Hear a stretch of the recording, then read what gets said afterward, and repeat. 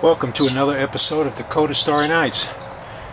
Tonight we're going to be pursuing one of the most sought after treasures of astrophotography, and that is a perfect polar alignment, the holy grail as it were, or the golden fleece of astrophotography. The initial alignment can save you a lot of time in achieving a perfect polar alignment. Now there are many different ways to achieve this. I've tried a few of them, but the most simplest method that I've come up with that usually gets me to within one degree is to open up a program like Stellarium, which is a free download online, or any other planetary program for a tablet or a smartphone, and pull up your location. In Stellarium, I have it uh, for here in Rapid City, South Dakota. Have your scope pointed roughly to the north. With the program opened, click on the equatorial grid.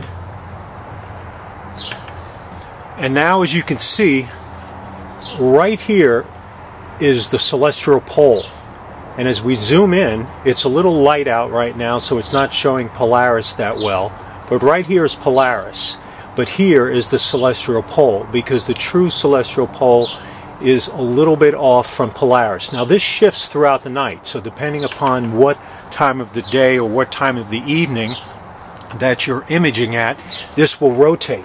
And that's the beauty behind it. So whenever it gets dark and you get ready to do your rough alignment, you just open up your planetary program, put in the equatorial grid, it will show you where true north is, and now with your red dot finder or with a finder with an illuminated crosshair, you will put your crosshair or red dot approximately that distance and below Polaris.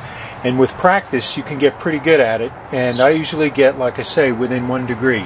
It's important that you have your red dot or your crosshair illuminated finder pretty well synced with the crosshair that appears on your photographic instrument or camera uh, whenever you do a focus and uh, frame usually they come with a crosshair so you want those to sync up pretty well.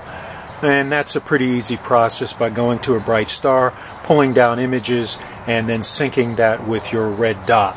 So at this point all we need to do is get underneath the red dot and make the appropriate adjustments in right ascension and declination.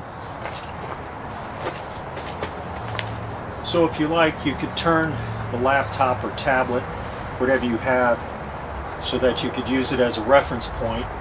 Turn on your red dot in my case and get underneath it and you can see Polaris and then I usually start off with the azimuth, turn it one way or another and then adjust for altitude or the latitude. You'd be adjusting for the latitude of your location and once you get an approximation, that's it and you're done. It doesn't require a polar scope or any other device or any other software. So, I hope that helps you out. Thanks for watching Dakota Starry Nights. Clear skies and wish me luck for tonight's imaging.